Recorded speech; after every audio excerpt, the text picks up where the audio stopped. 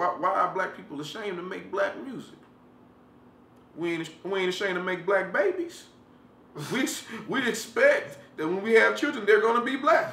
Are we ashamed of that? So why can we take that a step farther and say that when we produce art, when we create and express ourselves as black, that's our lifestyle.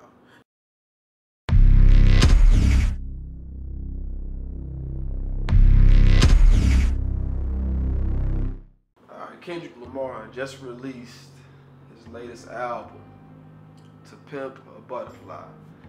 It's been getting a lot of reviews in the streets, a lot of buzz on social media. People saying it's the album album of the year already. What's your take on it, man? Is it did it live up to the hype when you finally uh, listened to it, or were you disappointed? Nah, I, I, definitely wasn't disappointed. It's, it's definitely a good album, man. You know, somebody like me who's been listening to Kendrick Lamar since I first heard up, heard about him. You know, what I'm saying it's it's definitely a good album. Uh, nothing shocking, nothing shocking. You know, what I'm saying like people were uh, ranting and raving about Good Kid, Mad City because uh, it was a dope album. It, it, deserved a lot of the accolades and uh, the acclaim that it got. But to me, To Pimp a Butterfly was kind of him going back to Section 8. You know, uh, what I liked the most about uh, The Pimp a Butterfly was uh, just, you know, the blackness of it. You know what I'm saying? To me, black music is a genre. It, it might not be something that people recognize or, you know, saying you can't go to your, you can't go on your iTunes and be like, I'm, gonna search for black black music because it ain't that ain't something that people recognize.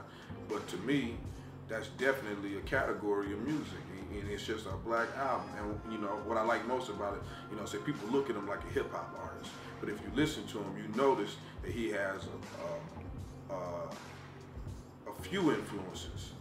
And so on this album, you can feel the uh, the original black music in America, jazz. You can feel that heavily in the album I'm saying? Uh, spoken word, you know what I'm saying? If you don't know nothing about the last poets and Gil Scott Heron or Saul Williams, he bring that dynamic to the album. And then of course with him being the person that he is, growing up in LA and being inspired by that sound that came out of LA when hip hop well, was taken over by the LA and West Coast scene, you can hear the funk in there. And that's something that I feel like, you know, their parents, you know what I'm saying, kind of, you know, gave them growing up. They got to listening to Sly Stone and uh, Parliament and George Clinton and all these bands filled with all these musicians that just gave that big sound. And so when I, like I say, when I think about the album, I think about just how black it is, because he, he, Kendrick Lamar is the type of artist that is an all-inclusive artist he's to give you, um, he's to give you the, the 16s, well, he don't even really write 16s hardly, but he's to give you the bars for all the hip hop heads. And for everybody else that's just interested in more than hip hop, he's gonna give you other elements of it, and he's gonna include as many like it's on that album. You barely see where it's just one producer on there. He gonna he he used a team of producers to create a sound add this. Uh, come work with this producer, do this, do that. You know what I'm saying? And he does that, man, even on a lot of those tracks.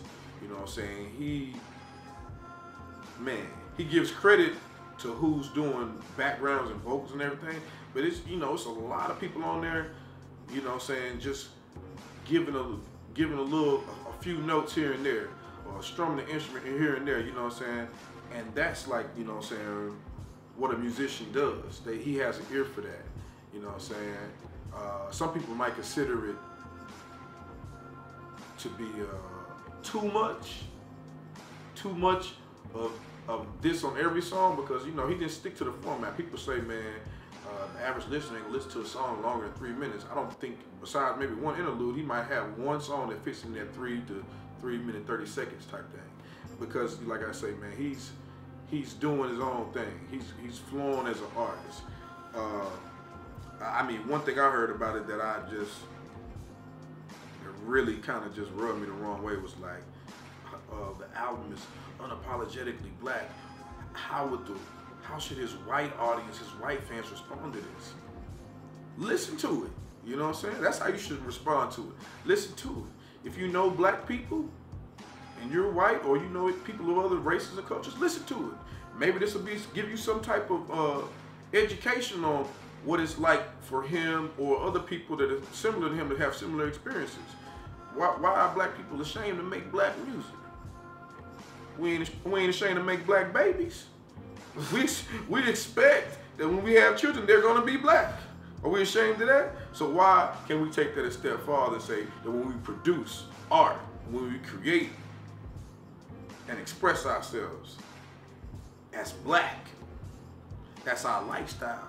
That's what I like about him, man. You know what I'm saying? And I'm not saying it's album of the year because it's early on, and I respect artists. I respect other hip hop artists. And you know what I'm saying? I'm not saying it's gonna be the dopest thing out this year, but I'm definitely saying it's a good album. It's definitely worth checking out. You know what I'm saying? Uh, well, let me ask you this. Because a lot of people say that hip hop was was stagnant last year. Mm-hmm. And you know, with the release of this album, Kendrick Lamar, it kind of you know woke hip hop back up. I mean, do you think he's carrying hip hop on his back? You know, right now? Nah, I wouldn't say carrying hip hop on his back, but he's amongst a group of uh, what we can call the, lead, the leaders of this new school who, you know, I'm saying they carrying the baton for hip hop. It's a few people that I can name, you know what I'm saying, that I listen to, you know what I'm saying, through the past year and drop albums that you might not compare them to Kendrick Lamar, but they definitely are doing their part to preserve what the essence of hip hop is all about. You know, uh, Kendrick Lamar is doing something with hip hop right now that the majority aren't doing. He's forcing us to think in a in a in an era of hip hop music where the music is discouraging you to think and just to be carefree. As people, we cannot allow that type of music to be all that we listen to because that's not the reality for us. If if we all walked around not thinking and just being carefree, how much will we get accomplished? And I'm not saying that those artists don't put time, thought, and effort into it. But I'm just saying that at the end of the day, how many people can do what Kendrick Lamar does versus how many people can recreate a sound and a style that they've heard on the radio right now. That's that's going to be a big difference. The reason why is because it happens all the time on YouTube. As soon as something happens in the news, somebody creates a song and it's getting millions and millions of plays. As soon as something happens in current events that might be funny or whatever, you know, we got we got artists like Ice JJ Fish that got 50 million views on YouTube. You know what I'm saying? Kendrick, Kendrick Lamar's getting 50 million views with songs like King Kunta. My favorite song on the album, by the way, is uh, How Much Is a Dollar. I love that song. I love the music on there, everything, everything that was composed and arranged in the in, in its and the lyrics well thought out, and it was a great song. It was something that took a lot more effort than what you uh, normally hear on the radio. And so, you know what I'm saying? The album is lyrically powerful, and that's what we don't hear in the mainstream. And he just so happened to have that stamp to where he can go out there and people don't expect him to to necessarily uh, follow a certain pattern or a certain type of style to be successful. He does what he does, and he has the, the, the uh, musical freedom, the freedom to do that. He doesn't have the label all on his back telling him to do this and do that. They trust him enough, you know. So, so let's let's talk about the Pac comparisons, man. I mean, Kendrick Lamar, uh, he's he's giving us a variety of music. You know, he, he's giving us that music that we can bob our heads to, and you know, his vibe to, you know, and then he's giving that music that that makes us sit back, you know, think about our blackness, reevaluate some things, you know, kind of similar to, to Pac, man. Mm-hmm. I mean, is it fair to compare him to Pac? You know, is he the modern day Tupac, or is are the are the, are the comparisons are they, are they being made prematurely? Man, look, this is what I'm gonna say about that. You know, with all respect to Kendrick Lamar, br- brilliant artist. He should never, ever compare himself to Tupac. Nobody ever, ever should compare Kendrick Lamar to Tupac. Tupac was a different artist. He was a different man. He was a different mind. Tupac gave you the full, the, he gave you the whole circle. He could uplift you. He could go party. He could talk bad to you. He could kick some knowledge to you. He could talk about this subject and talk about that subject. He created his own image and brand to the point where we respected whatever he did artistically because that's just another side of Tupac. And that, and, and that and he gave you and he gave you all his sides. He was way more relatable in that way too, because he came Pac came at you like this. You there are so many songs that people can just quote the lyrics to his song to because he gave it to you like this. Kendrick Lamar, his style, man, a lot of people can't do what he does. I, I like his delivery and I like how he switches up and plays with his voice.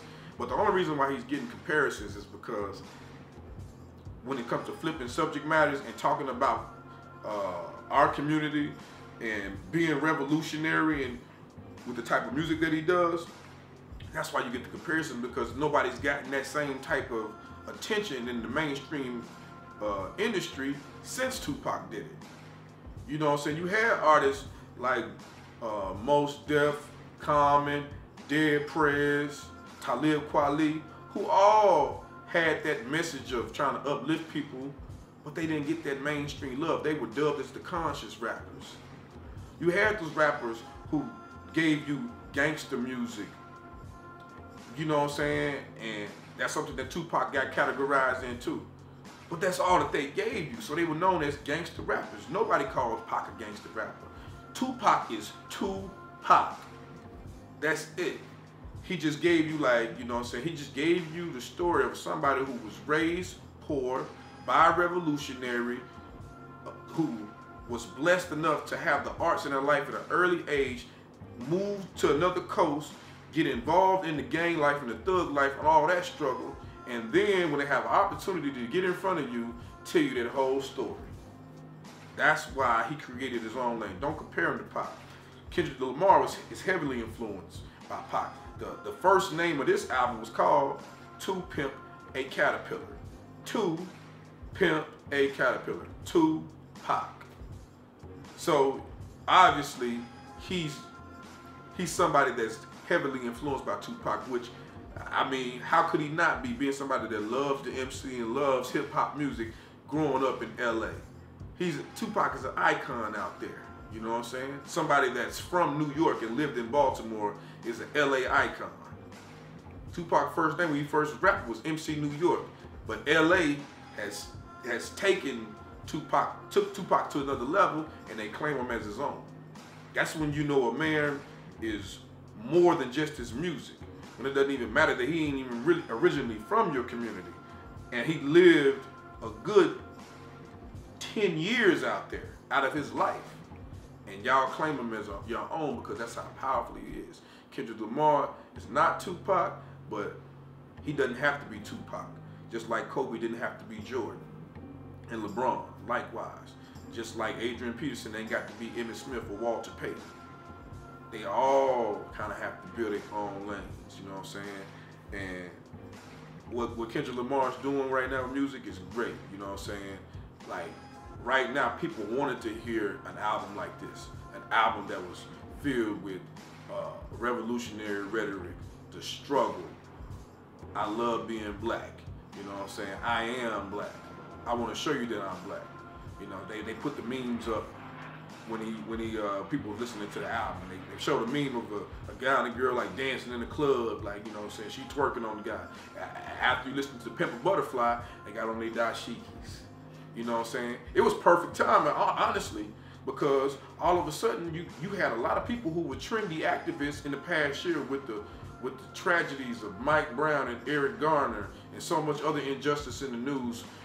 People were ready to have that self pride again. They were, and now they're ready for the music to also portray that because that's what's going on in the world right now. And people are not afraid of being black right now. They're not afraid to think. They're not afraid to be who they truly are. He just put an album out as all of this was happening. He was ha- happened to be recording it, so it's no wonder that he put this album out right then. Last three years, there's many things that we can name that went on to where we felt like, okay, maybe it's time to stop dancing so much, and maybe we need to think and say something about what's going on in the world, other than turning up, having fun, and whatever else you